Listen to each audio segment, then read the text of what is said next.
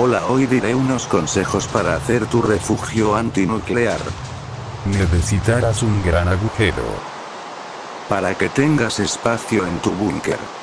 Un búnker entre más hondo mejor pero no lo hagas debajo del nivel del mar puesto que a esa altura el oxígeno falta. Con las paredes de hormigón resistirá más y recubrida de cemento mejor. Pero si de este dinero con hormigón bastará.